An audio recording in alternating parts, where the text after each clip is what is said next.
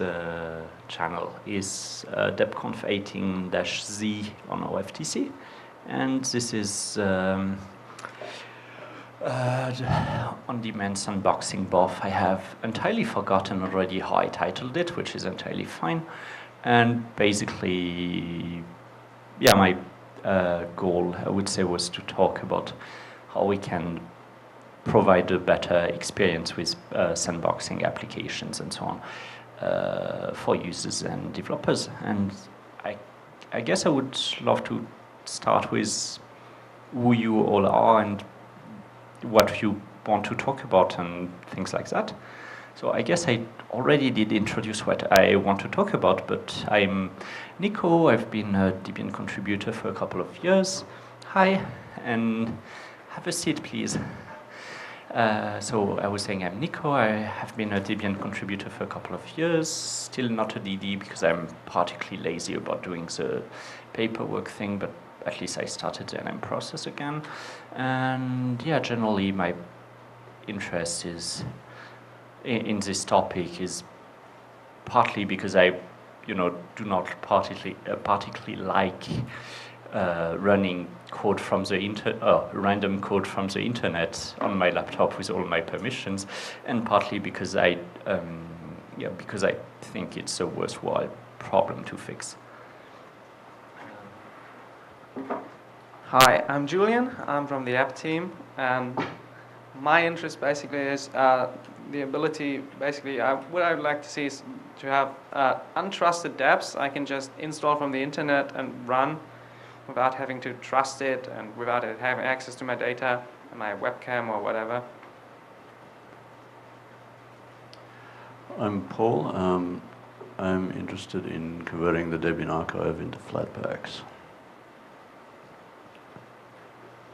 Uh, I'm Takatsugu Nokubi. Uh, I'm mainly uh, maintain some kind of uh, natural process natural language processing packages, especially for Japanese. I'm Alex Doyle. I'm a build engineer at uh, Cumulus Networks, and uh, my interest in this was providing isolated build environments for developers to build in. So currently we're using um, schroots for that, but it takes a while to get in and out of them. And we're looking at Docker containers as well as maybe an option uh, for, for providing isolated build environments because we have a shared build systems. We don't want developers stomping over each other every time they install new packages. So I'm curious as to what sort of sandboxing technologies and options are out there. Yeah. I'm sure I'm an SRE. We are using Docker and Kubernetes. So I'm curious if there's some other options, uh, I mean other than Docker, uh, and it's working for us. Thank you. Okay, so that's all. Okay. Uh, so you did not wish to introduce yourself, or? I was looking to your friend uh, behind you.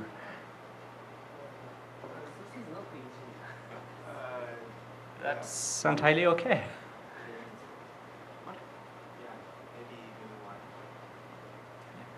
Um, by the way, if you wish to speak, please use one of the microphones. We have plenty of those. And I did that without speaking into the microphone. So yeah, see, there are quite a, we have quite a few people interested. Uh, some of which, like some of you, uh, seem to be uh, more uh, heavily interested in like uh, build environments. Some of uh, you are interested in having more or less more desktop sandboxing kind of stuff. Uh, thankfully, at least from my from my perspective, a lot of the problems are, are the same uh, in the sense that we we need to provide clean environments with um, and we need to do this relatively fast. Uh, actually, how many people here are using sbuild or schroot? What?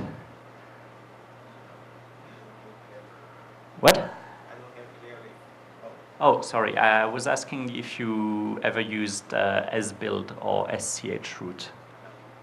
Okay. Hi. Hi. Uh, you just missed the round of introduction, so would you like to introduce yourself?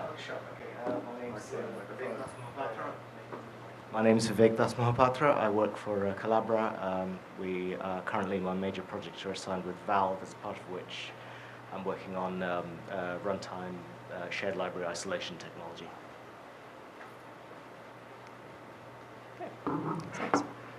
Um, yeah, I was saying, uh, oh, uh, feel free to sit more in here if you want, and also feel free to introduce yourself. I'm from uh, kernel team, mainly uh, maintain uh, ARM-EL kernel.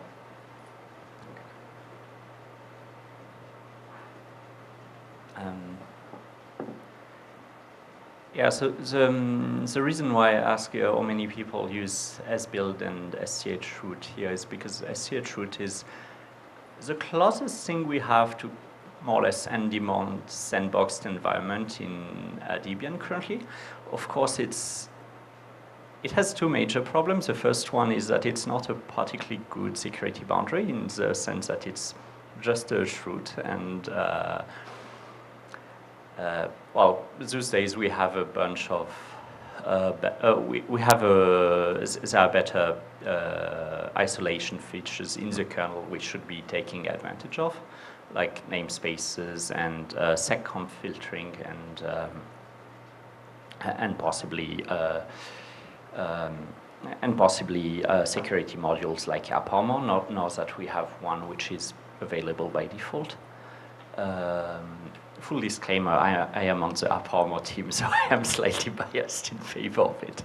Um, but uh, yeah, so generally, like one of the questions I've been asking myself is, oh, to be entirely fair, uh, it was prompted by Indri, who recently pointed out that schroot does most of what I want, just not, uh, it's not particularly fast at it because, I mean, I don't know if you, for those of you who run sbuild, the first thing sbuild does is it, it updates apt in uh, the chroot, it runs an install in the chroot, and that already takes by itself most of a minute. And waiting a minute to start an application is not particularly good or waiting a minute to enter your development environment is also not particularly good. Um, so, oh, actually, I guess I can just ask you a question, Julian. Uh, how terrible uh, would it be if uh, we did things like not actually installing packages inside the sandbox, as in not even running apt inside the sandbox, and just extracting the deb in there?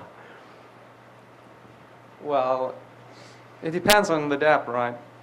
So, like a desktop application probably would crash if you don't run the maintainer scripts because it has stuff like GSettings which you need to update. The uh, you need to update the database for the. Oh. Yeah. So, if you don't run the maintainer scripts, these apps don't work. You can't use them. I think most of the time is not spent in running the maintainer scripts, but in running the unpacking.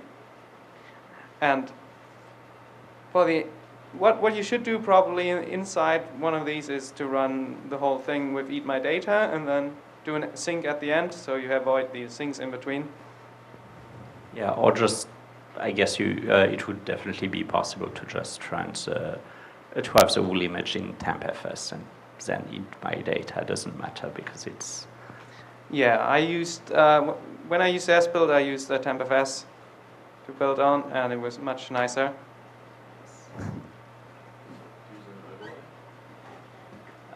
an overlay FS with uh, tmpfs at the upper layer. Yeah. Um, so for people who are not super familiar with schroots, that's basically the equivalent of um, using an overlay FS for that basically lets you reuse the same base image for all the schroots and as you spawn new, schroots. So it would be a bit like using the same from for Docker build, I guess. Uh, the main difference is that here's the, the, uh, the second layer of your sandbox would only exist in tmpfs, so it's not actually written to disk, which is actually quite nice in terms of how fast it goes. Uh, the, yeah, of course it means that you use a bunch more RAM, but there are also ways we can deal with that. Um, Yeah, I wanted to ask, like, um, are there people here already doing that sort of sandboxing for development environments or desktop applications, and what do you already use?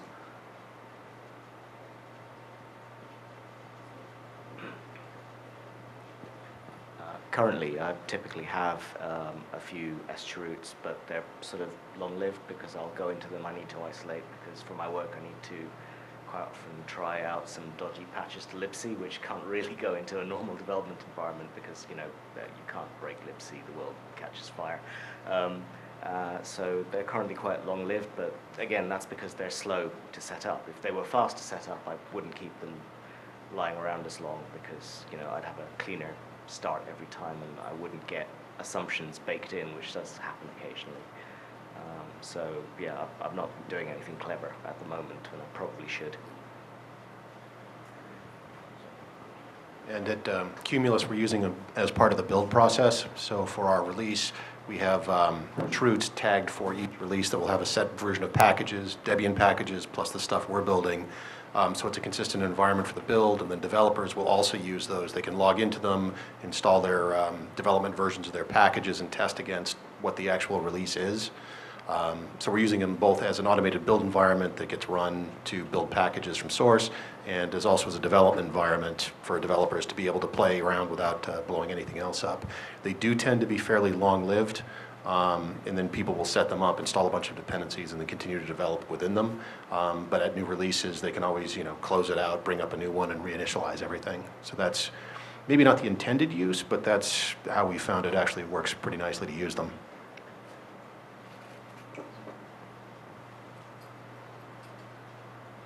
You mentioned earlier that you had issues with developers kind of stomping on one another's, uh, one another's foot by because they were using the same environments. Uh, what did you mean right. by that? So, right. So we use the um, the schroots to avoid that happening. So every time they log in, there. So we the, this also has the advantage of having the build systems be isolated from the schroots they're running, so somebody doesn't install you know packages within them on the build system itself rather than within the schroot.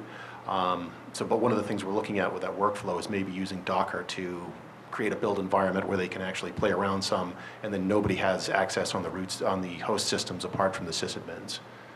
So there's still some configuration I think to be done there, but it's worked. Um, the downside is that when you're loading a schroot, it's a compressed file system, so it has to decompress, and then everything gets mounted, um, and then they're in there, and then when they exit, it also has to recompress their personal copy of that. So there's a bit of a hit getting in and out of it, in and out of it, like you'd mentioned, uh, starting up your environment. So uh, with the compression, I think you schroot, I think it supports LZ4. I'm not sure. So that's at least relatively fast, I think. So the normally it uses gzip, I think, and that's relatively slow, but if you use LZ4, it's quite fast, I think.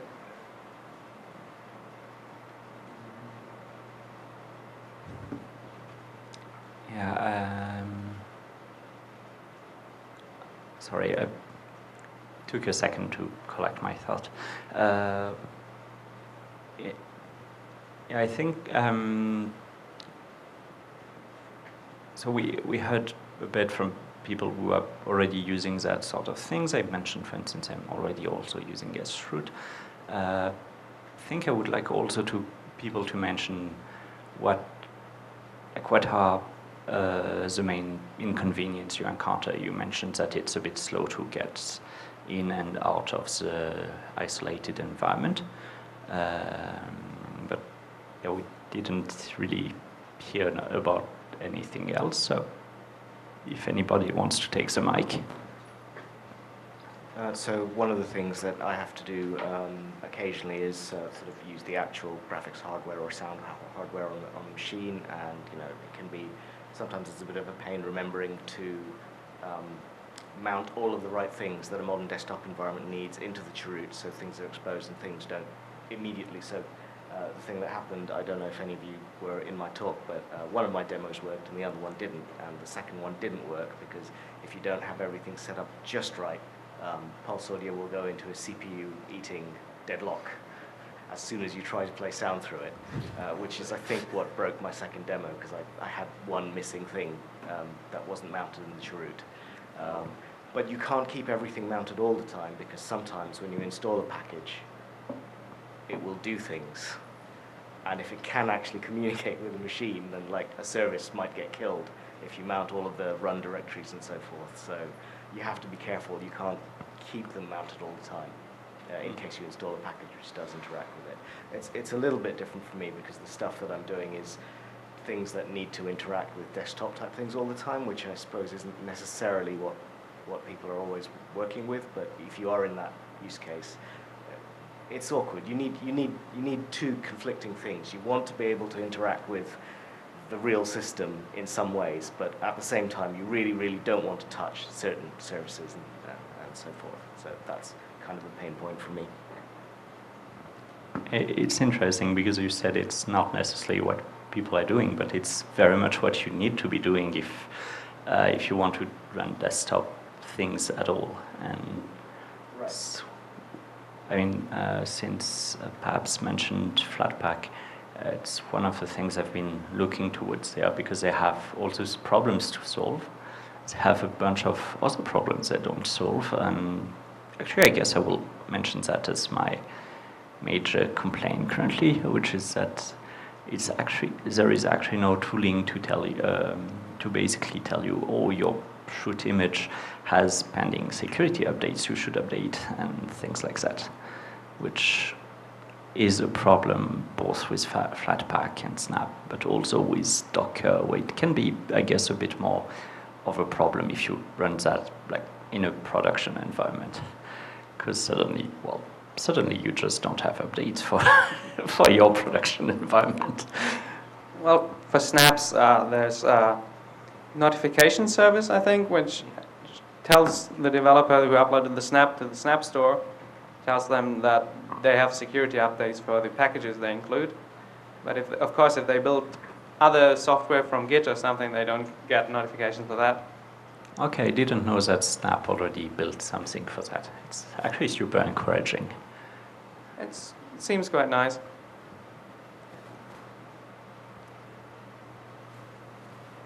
Okay, so um, if nobody else wants to mention anything about that, I thought we could perhaps mention, uh, talk about, um, well, at least brainstorm about what we can do to solve those problems. Because, so we mentioned that it takes a long time to set up uh, uh, environments. Um, that it's difficult to actually get desktop stuff to run in there and oh yeah, and that we want or need um, actually, uh, actually the ability to know what is installed in terms of packages inside the environment, so that we can detect when there are updates available for it.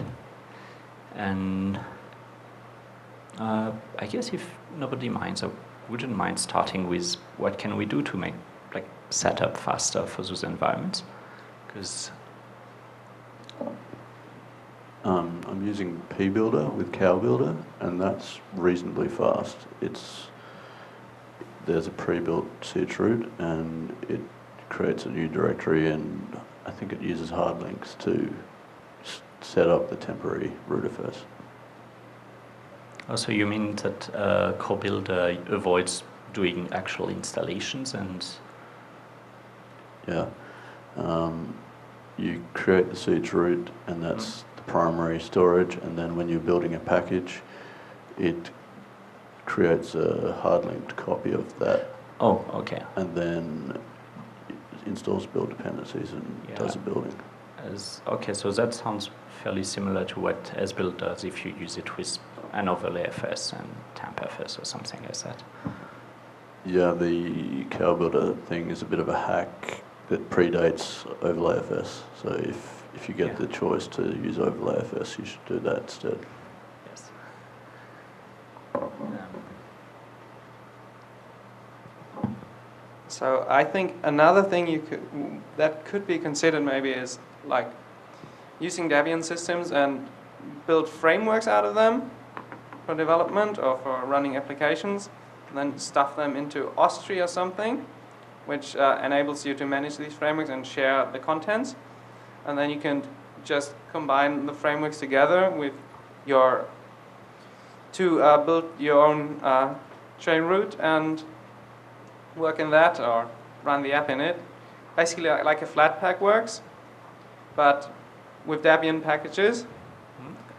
And yeah, you can add an overlay on top of that and then install any remaining packages you're missing, but you get a speed up because you have most of the packages already installed. Also, you mean basically putting more packages in the base image and not just not just a result of the bootstrap, for instance. Yeah, you could have the base image. You could have then you could have an overlay like Mm. a GNOME overlay or a de- uh, development overlay, and then which has build essential installed and stuff. And then you could just install the remaining build dependencies when you're building the package, or when you're running an app. You could just install the remaining dependencies for that app, and then you save time for the setup. Yes, that's actually very fair that we could probably um, have multiple overlays and be able to reuse more stuff. Uh, not just like the base image, but uh, more things on, uh, on top.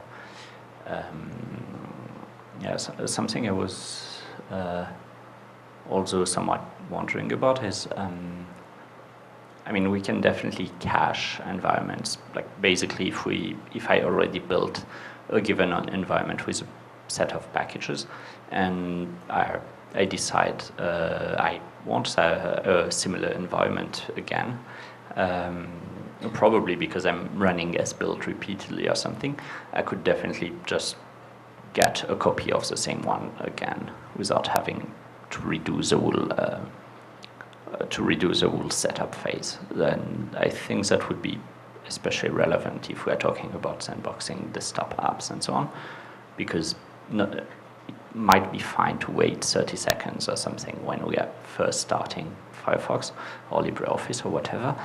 Uh, if I have to wait 30 seconds every time I open a LibreOffice document, I will be very, very sad.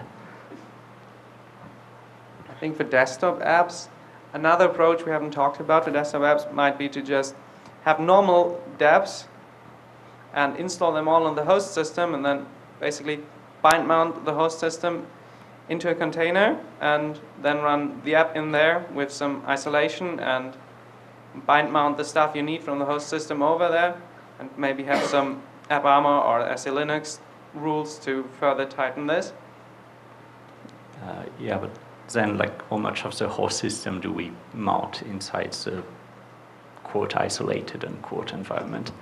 Yeah, so uh, optimally we would just have like the user partition mounted there to have the whole OS, but that needs the whole user merge and handling of other stuff, maybe like etc changes and var. But it would be nice to have, I think, because you can just run normal debs and you have the isolation you get with the snaps and flatpaks, but you get all the advantages of the normal debs with security review and stable updates and stuff. Yeah, and I'm glad you mentioned that because it's very much, at least for me, a goal to have be able to use normal deb packages at least at least so long as there is not a good consistent story for to have security maintenance of Snap or Flatpak and so on. So I've, I've tried doing this with um, Bubblewrap, the tool that Flatpak uses to sandbox applications. You can basically do it just with a few command line options. I've only used command line apps within Bubblewrap and it works fine, but I haven't tried the graphical stuff. I guess that re- would require some of the portal things that Flatpak sets up, which I'm not sure how that works yet. Yeah, to uh, as useful information for people here you who might not know yet, uh, portals are um, also not uh, they are a security concept where basically instead of, for instance, if you have Evince in a sandbox, yeah, Evince is a PDF reader. So instead of giving it, it uh, access to all of slash home because you know it might potentially read a PDF anywhere in there. Uh, so instead of doing that, because then it has access to all your user data, and the sandboxing is a bit pointless if it can just rifle through tilde slash dot GNU-PG or whatever else. And um, so instead of doing that, basically you give it access through a socket to a helper that runs outside the sandbox. And basically, when um, if you go file open, for instance, uh, Evince will just ask that helper, hey, please bring me a file open, open dialog. So the, um, the helper then displays the file open dialog from uh, GTK, for instance. So from a user perspective, there is no difference because it's the same graphical toolkit displaying the same window. And um, so the user picks whatever files they want to open, and then the helper sends back to the uh, to the application uh, not a file path, but an already opened file descriptor. And so that's how you can basically move um, more or less handles for a file through the sandbox without having to grant extra stuff. So that's how it works for file mediation, but there are portals for things like webcam, webcam access and so on and so forth. Uh, I see that we have a bunch of people sitting in the back now.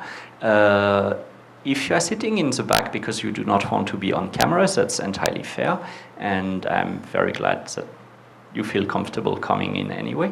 Uh, if you want to, if you are sitting in the back just because you arrived late, I would invite you to actually come sit with us. So, uh, yeah. And also, yeah, at any time, if you want to talk about something, just ask for a mic. Sorry, and now I entirely forgot what I was saying just before that. Oh, yeah. Uh, yeah, I was saying, so that's how file mediation works with portals, but there are different portals for things like accessing the webcam and so on. And uh, those also give a fairly familiar um, user experience in the sense that it will do the same thing, for instance, that your web browser does, which is it will display you a tiny pop-up saying, okay, uh, application foo wants to access your microphone and webcam. And there you just get the choice to just say, no, do not want Evince to access my webcam. And uh, yes, they are, um, especially for sandboxing desktop application, quite useful because uh, they can achieve things security-wise that would be extremely hard to do with uh, AppArmor because basically because user, um, because there is no fixed set of file you want to be reading or writing to with your application.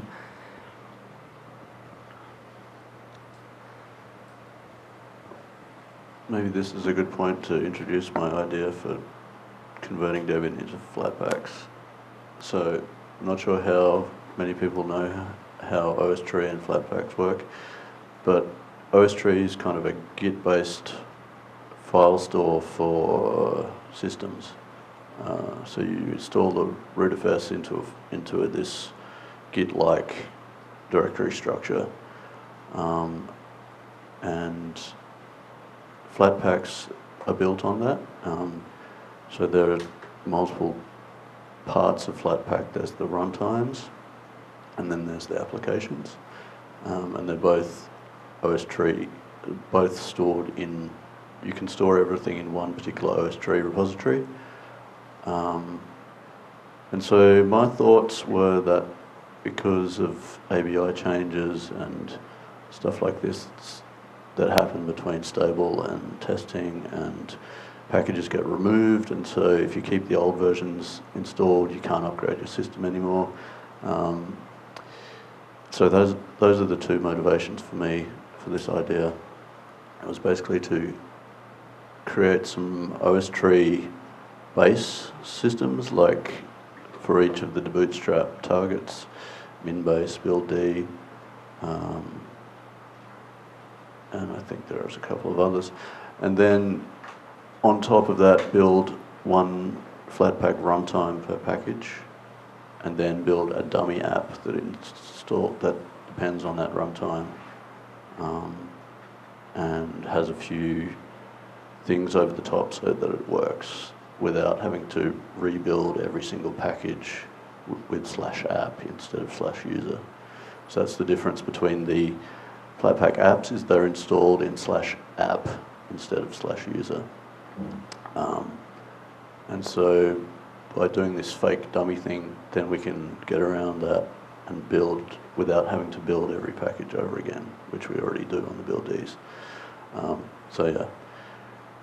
And because it's because everything's OSTree, it means that we would need we would do well to also have OSTree images for the base system and maybe a few of the tasksel um, standard install options. That's the general idea. So, uh, quick question. If I understand correctly, you mean you would want to um, apt when installing packages to install them in an uh, in OSTree? Or? No, this would be pre-built OSTree slash Oh. Flatpak uh, repository. Okay. So you could just do, go to GNOME software and install Flatpaks from Debian instead So- of Flatpaks from FlatHub or wherever else. Okay. Um, but th- then I, I guess I'm missing the part where you go from having Debian packages to having flat, uh, OSTree packages, basically. So um, the way it works is basically you debootstrap, import that into a flat, Flatpak, I mean into an OSTree repository, and then as a second layer, you do the runtimes and import that into the, the OSTree repository, and then for each app package, you uh, upgrade, I mean install the dependencies and the applications into those repositories, and then import that into Flat, into OSTree. So the advantage of using OSTree is that the files aren't duplicated even if you have the same libraries in every Flatpak because they're, they're, it's a content-based store, so it's based on the SHA-1, uh, SHA-256 of the file.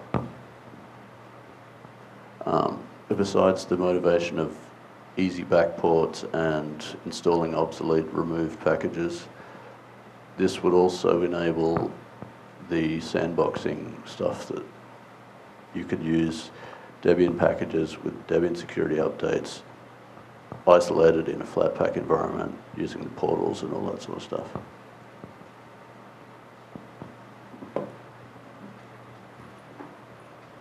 Uh, yeah, that sounds kind of interesting because um, one of um, the problems that I see with the whole kind of we're going to ship applications in their little, their little carry bubble of con- uh, containerized stuff is that you just, to some extent, we're in danger of pushing the how do we do security updates problem to over there, and people say like, well, distributions are hard to do. Well, yes, they are hard to do the reason we put a lot of effort into them is that people don't have to do them over and over again. And I, I, I like I like a lot of the things that the containerized stuff is doing, but um, they say no, it's okay. We'll we'll we'll ship the runtime. And it's like well, that kind of mutates into a distribution then at some point. You know, you, you're just doing the work, and now you're doing it for five different versions of the runtime instead of maybe two versions, two releases of the distribution. Um, so that sounds like it might be an approach to um, that could address that, sort of bridge the gap and hybridize the two approaches. The biggest problem with this idea, I think, is probably scalability. I don't know how well OSTree would scale with like thousands and thousands and thousands of apps. I guess you could reduce the set by just creating apps for each uh, package that contains an AppStream file. Uh, that should be easy to do. I just wanted to ask Julian. Um, I know that dpkg now has a this dash dash root option. Do you know if apt also supports that now? Well, I don't think we have added support for that. But I guess you could probably work around it. There are several options to set a root dir for apt. And you could pass the root option to dpkg too, by the apt option to pass options to dpkg. So it might work, but I'm not sure how to configure it.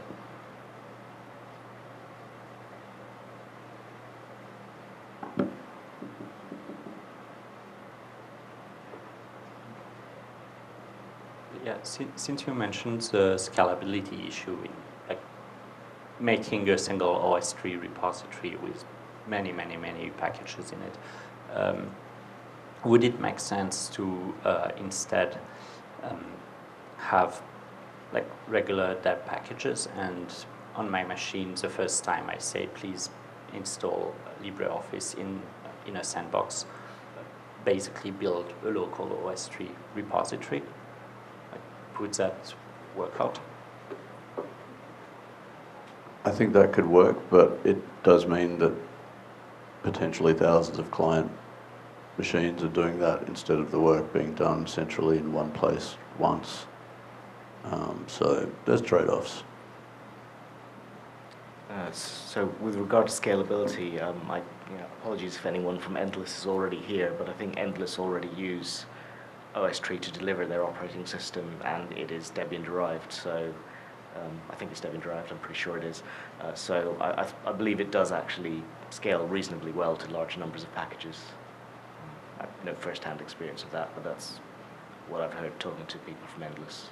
Yeah, we'll definitely check it out then. But if they have like the whole Debian archive in OSTree, then it's definitely will work for us. The other thing about scalability in this idea is that because I want to have obsolete things that have been removed from Debian that people might still rely on, that don't necessarily need uh, security updates because maybe they're a game and they don't have, don't use the internet. So it could end up being that there are a lot more packages in there from the history of uh, from snapshot Debian.org. Um, so yeah, that could, and because everything, all the tool chain and library versions change a lot, there will be a lot more files in there. So yeah, anyway.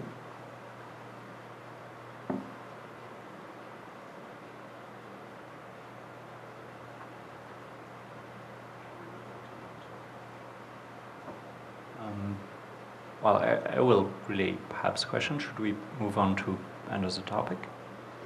Okay, uh, could someone remind me what were the other two things we wanted to discuss?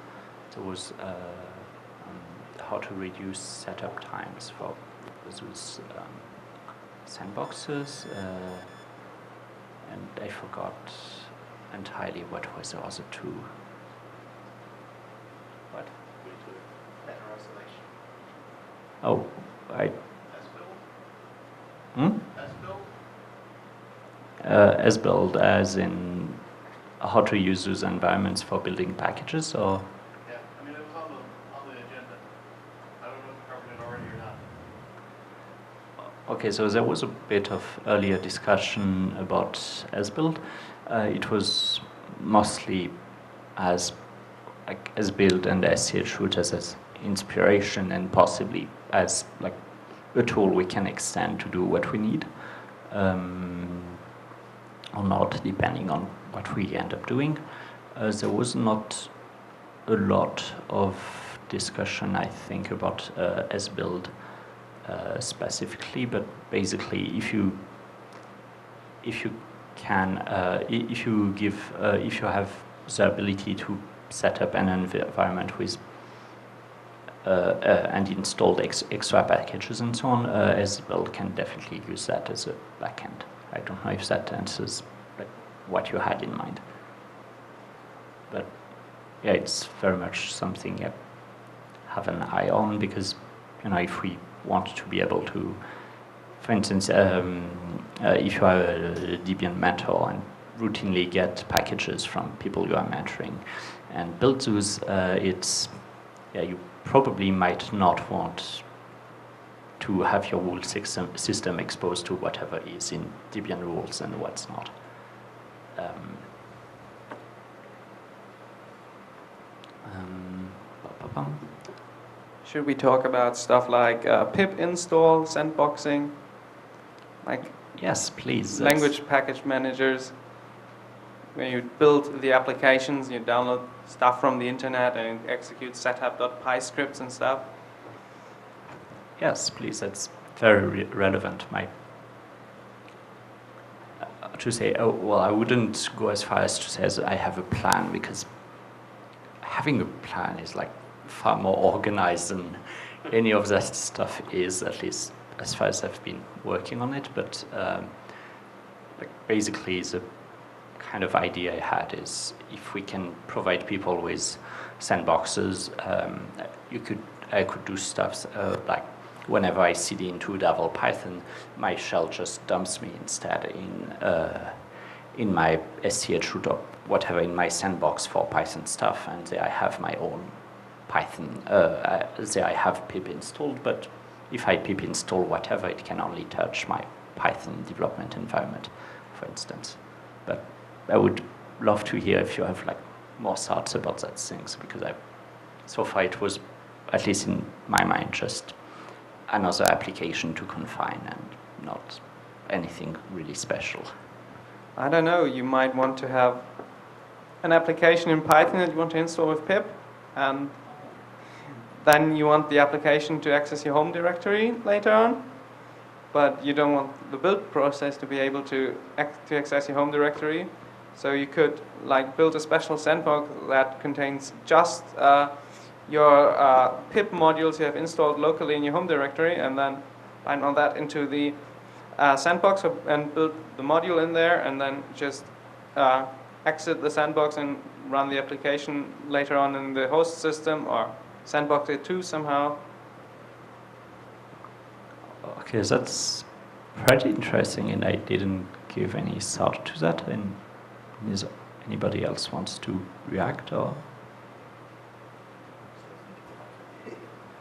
Okay, I guess we're still like all kind of digesting your ideas still. Um, guess what I would be uh, kind of concerned about is um, it can give people perhaps a fake sense of security in the sense I don't know if all of you heard, so I will guess summarize. There was recently a fairly high profile attack on NPM, which is a JavaScript package manager. And um, the, basically what happened is that one developer got their account compromised and they had access to a very popular linter. And what the, what the attackers then did is basically publish a new version of the linter that would uh, automatically grab credentials for, uh, access, for uploading to NPM and send those over to basically a server they controlled. And um, I mean, that sort of stuff could definitely happen, like in other package manager, like Cargo or Pip or whatever. It could even potentially happen in Debian. Like one Debian developer gets compromised, uh, bad upload is sent for pip uh, for Lintian, and since we all run Lintian, hopefully, uh, then we are all compromised. Woo! Um, and yeah, that's a very big part of like why I organize this BOF and why I not particularly this attack because it happened like really recently, but that sort of concern is more or less what motivates, I think, at least my need for um, isolated development environments and applications. And so, yeah, if we are saying we should um, build PIP applications, for instance, in in a sandbox, but make them available like unconfined, I would be kind of concerned about the same thing happening and uh, just having a bad application running unconfined uh, directly. Yeah, that's true. Maybe you want to have them differently confined for the build and the runtime.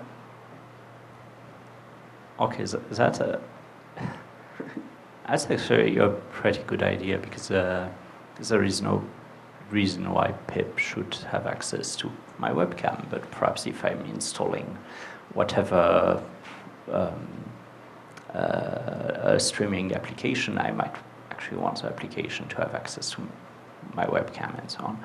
Um, I mean, if we su support thing, uh, things like sbuilds, uh, should be possible to also support, like yeah. doing a pip install, whatever. It's uh, not just malicious things or other language package managers. So, you know, if uh, proprietary software developers provided .deb, you know, quite often, and I think mostly for reasons of inexperience, they do some hilariously inadvisable things in their postinst scripts. Yes. Uh, so I usually pull out the postinst script and just have a look at it. And quite often it's like, you know what? No, you don't actually need to run for me to install this application. I'll repack the deb without it.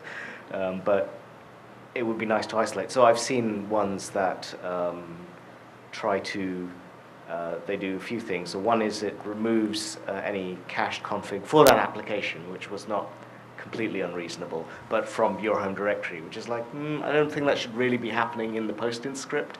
The application should be taking care of it itself when it, when it starts. And it also tried to kill anything with its own running name. As that's fairly exciting, actually. Yes, yes, that So- was the reason that didn't get run. So um, that's what I meant with untrusted debs. So I basically ma- create declarative maintainer scripts would be the first step, and then you could have the, um, debs that you can safely install without them doing anything evil to your system. And then if you combine that with sandboxing for the actual app itself, you could have a safe app. Basically, you can install random third-party packages and use them with the same safety guarantees as you have with containerized uh, package formats like snaps and flatpaks.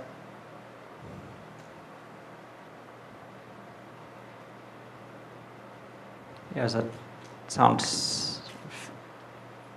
That sounds actually like something we, we very much would like to have. Yeah, that's my vision like for the last two DebConfs or so. Oh, we need to talk more then. I think we're out of time, so Already? Uh, oh, yes, we have you to the even like five operators. minutes over or something. So, yeah, I.